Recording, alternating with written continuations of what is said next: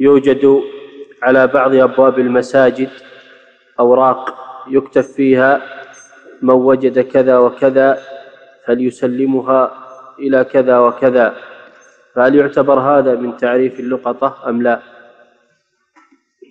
هذا من تعريف اللقطة لكن إن كان داخل المسجد فهو حرام لا يجوز إنشاد الضالة بالمسجد ولا الإعلان عنها داخل المسجد أما إن كان خارج المسجد من الخارج على الجدار الخارجي أو على الباب الخارجي مما يلي الشارع فلا بأس بذلك.